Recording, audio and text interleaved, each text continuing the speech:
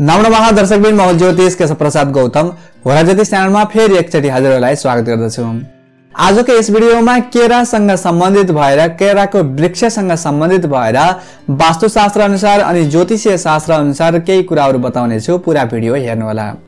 वास्तुशास्त्रले अनि ज्योतिष शास्त्रले अनि धर्मशास्त्रले पनि केराको वृक्षलाई अत्यन्त महत्वको साथमा लिएको छ हेर्नुहोस्। केराको वृक्ष घरमा लगाउनाले हाम्रो घरमा भगवान श्री विष्णुको बास हुँदछ। भगवान श्री हरिलाई केराको वृक्ष अत्यन्त प्रिय लाग्दछ। केराको फल पनि भगवानलाई अत्यन्त प्रिय लाग्दछ। हेर्नुहोस्।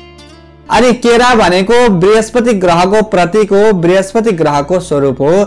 जसको बृहस्पति ग्रह कमजोर अवस्थामा छ उसले घरमा केराको वृक्ष लगायो भने उसको बृहस्पति ग्रह बलवान हुँदै जाँदछ र उसमा बौद्धिक क्षमता बढ्दछ समाजमा मान सम्मान पाउँदछ इज्जत प्राप्ति हुँदछ अनि उसमा सबैले विश्वास पनि गर्न सक्दछन् हेर्नुहोस्।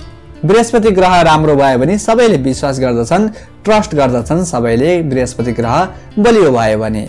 यदि घरमा बच्चाहरूले पढिरहेका छैनन् घरमा बालबच्चाहरूले राम्रो ज्ञान प्राप्ति गरिरहेका छैनन् भने पनि यदि घरमा केराको वृक्ष लगाइन्छ भने त्यहाँ बालबच्चाहरूको बौद्धिक क्षमतामा वृद्धि हुँदछ। बृहस्पति ग्रहको प्रभाव बढ्दछ हेर्नुहोस्।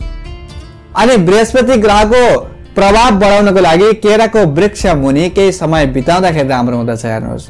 जसको बृहस्पति निचो छ जसलाई कुल देवताको समस्याहरू परिरहेको छ कुलको दोषहरू घरमा लागिरहेको छ भने पनि उसले केराको वृक्ष लगाउँदछ अथवा केराको वृक्षको समीपमा समय बिताउँदछ भने पनि राम्रो हुने गर्दछ भनेर शास्त्रले बताएको छ।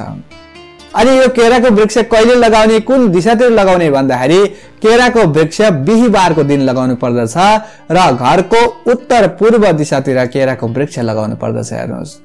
घरको उत्तर पूर्व दिशातिर यदि केराको वृक्ष लगाइयो भने त्यसले वास्तु दोषलाई पनि समन गर्दछ वास्तु दोष पनि हट्ने गर्दछ साथसाथै घरमा भगवान श्री हरिको बास पनि हुने गर्दछ साथसाथै घरमा बृहस्पति ग्रहको प्रभाव पनि राम्रो पर्दछ जसले गर्दाखेरि हाम्रो घर परिवारमा खुसियाली र सम्पन्नता बढ्दै जान्छ भनेर शास्त्रले बताएको छ।